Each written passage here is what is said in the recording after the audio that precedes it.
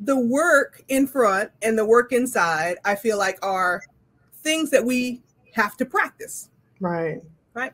Um, and when you think about getting your clients ready to take that next step or be willing to even go to the next interview, the next level of the thing that they said they want, what do they have to practice on the way?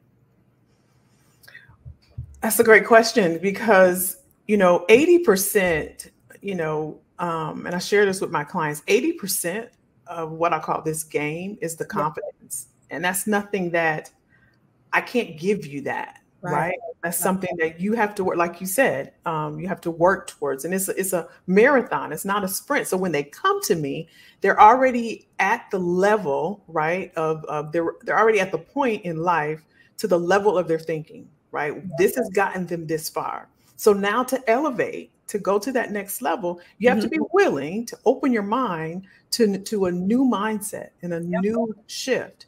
And you showed up here to get on this call mm-hmm. to go to the next step because you know you you're worth more. You know you want more.